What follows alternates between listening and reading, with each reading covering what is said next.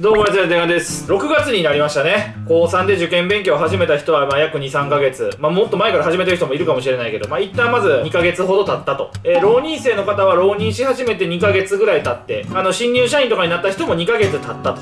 どうですか？えー、ここまでの2ヶ月ぐらいを見てみて、ちょっと皆さんどうですかね ?5 月とかの最初の方に出した動画とか4月の最初の方に出した動画でですね、言ったと思うんですけど、スタートダッシュってめっちゃ大事なんですよ。あのー、受験勉強するにしろ、何するにしろ、スタートダッシュってめっちゃ大事で、スタートダッシュが切れなかったら、諦めちゃうんですよね。やっぱ人間って。諦めたり、そのマイナスな感情がどんどんどんどん湧き上がってくる生き物なんですよ。プラスの感情を維持するためにも、いかにスタートダッシュ切れるかっていうのがめっちゃ大事。ってなった時に、この2ヶ月皆さん振り返ってみてください。どうですかねできなかったところができるに変わったところ、何箇所あるか。これちょっとまず紙に書き出してみましょうか、皆さんね。はい。これ僕もめちゃくちゃやってて、3月の時に浪人を決意するわけですけど、あの、僕が受験生の時ね、そこから何ができてないねんっていうのをこう具体的に書くわけですよ。各科目ごとね。数学だったら、この問題が解けなかったとか、できてない時の自分を思い出して書いていくものなんですよね。だから今すぐ一気に書けって言ってもなかなか書けるものじゃないかもしれないから、これ日々の積み重ねです。で、まあ4月5月の最初の方の動画でそういうのやっといた方がいいよって言って、もしやってた人は、まあ蓄積されたはずです。逆にできなかったところができるに変わったところもまああってほしいねって。だからそれをするのがまあ勉強なり、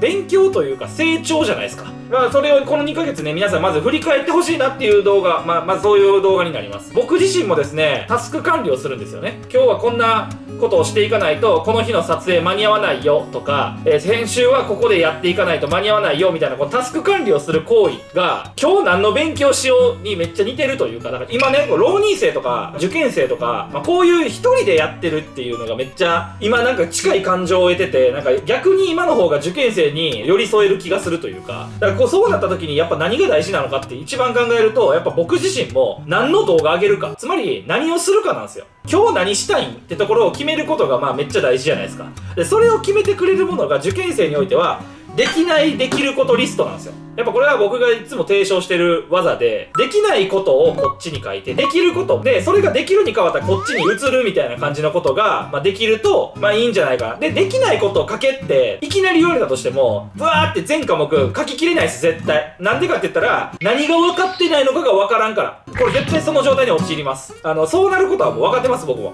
分かってて言ってます。今何が分かってないのか分からへん。だって全貌知らへんねんから。まあなんかその、ドラクエととかで例えると、まだ100%のうちの10%ぐらいしかマップ理解してないのに、次どこ行ったらええかを考えるって無理じゃないですか。未開の地がまだ90%もあるのに、どこ行けばいいか分からへんってなるけど、クリア後とかに100%全部マップ知った上で見たら、確かにもうこうこうこんなんこう行ってこう行ってこう行ってこう行ったら分かるやんってなるっていうのに近い感覚です。だからそう考えると、何が分からないのか分からないって状態とみんな向き合ってるんですよ。あの、まあ、勉強する人って、まあ、それそれと常に向き合い続ける。分からんなりに書く。まあ、これがまず大事なんです。これがまず一歩なんですよ。だからその分からないことを、まあ、書いていくわけですよね。各科目ごとに。英語やったら、ここが足りてないとか、ここが足りてないって、まあ、それ各々違うと思います。で、これなんでこんなのするかって言ったらみんな脳みそ違うからです。人によって課題が違うから、自分でやらないといけない。先生は教えてくれないです。っていうことなんで、ここは自分でやらないといけないんですよ。で、ここの部分を作った上で、ここがわからないんですよねって先生に言ったら、なんか対処法を教えてくれたりしますよ。でも、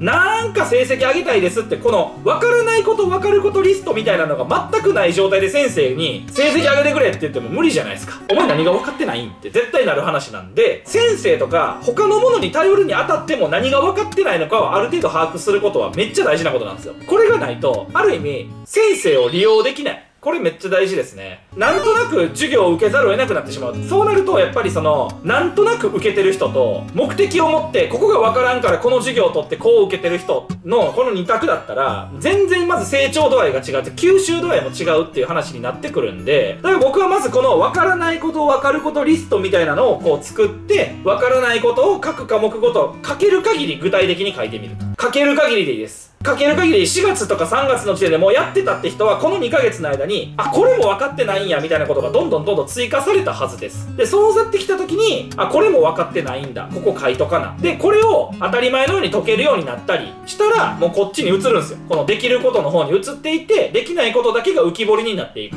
これを部屋に貼っといてください。部屋に貼っとくと何が起きるかって言ったら毎晩帰ってきたらそれを目にしますよね。目にするってめっちゃ大事で自分の課題を目にするっていうことであ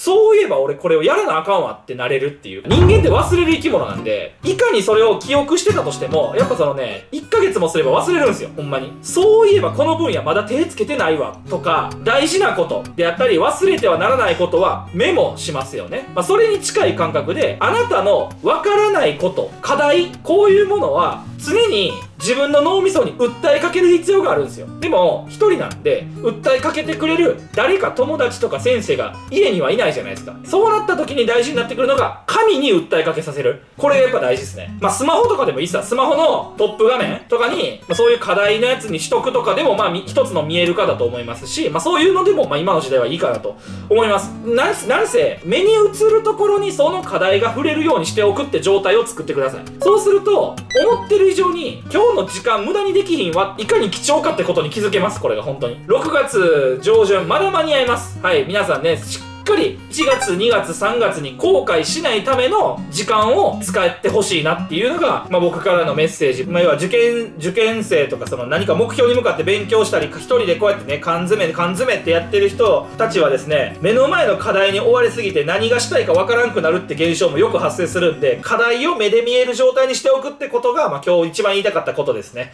でそれをしてどんどんこっちのできるに変わっていったら楽しくなってきます。これもうゲーム感覚で。ちょっと最初はドラクエとかも技少なくて面白くないんやけど、どんどんどんどん新しく技を覚えていって、楽しくなってくるみたいな感情ってあるじゃないですか。それに近い感情になっていけたら、より心のコントロール上手いなって感じになってくるんで、どうせやったら楽しみたいじゃないですか。楽しむっていうのを諦めちゃダメです。やっぱ勉強を楽しむということを諦めてはいけない。諦めなかって、楽しみきったやつが、結果、強いっていう現象が発生するんですよ、マジで。やっぱその、好きには勝てないっすね。やっぱその、数学好好きなんですよ、僕ってやつに、あの、数学そんな好きじゃないやつが勉強しても多分勝てないっすね。数学が好きなんだもん。っていう現象、これわかるでしょ？好きには勝てない。だからなるべく、今好きじゃなくても、好きになる努力をするっていうのはやっぱ大事で、僕で言うと、まあもともと勉強そんな好きじゃない小学校、中学校とかも平均以下だったこともザラにありましたから、まあそういう性格だった僕が、今こうやって数学をコンテンツにしたりしてるのって多分当時の先生とかからしたら、そんな勉強好きなったんかみたいな感じで驚かれる先生もいると思います。でも、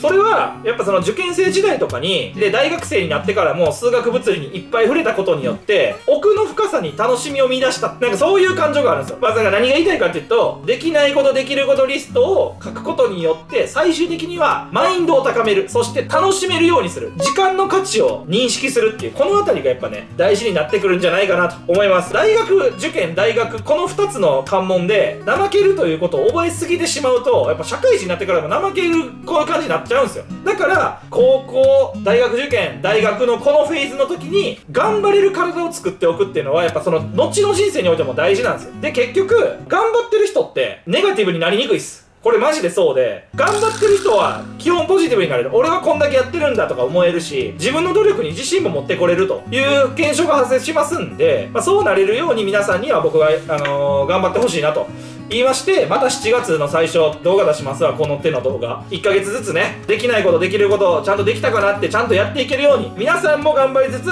エールだけじゃない。僕も頑張るぞ。俺も7月、8月、あんなことやったり、こんなことやったりするよねと。うん。頑張るぞ。で、なんか、ショーツとかもね、まあ、最近は気合入れて頑張ってますんで、あの、そちらの方も見てもらえたらいいかなと思います。まあ、なんか最近声かけられるときは、ショーツ見てますみたいなことよく言ってくれたり、今受験生です。伝川さんのエール見て、どこどこ大学目指してますとか、まあ、こういう声をよくいただくということで、まあ、僕はあの、やっぱそういう風な方に励みになるような、まあ、動画、かつ笑いも埋めるような、まあ、そういう動画をどんどんね、作っていこうかなと思いますので、ぜひチャンネル登録、高評価よろしくお願いします。ということで、本日の日曜伝言は以上になります。ありがとうございました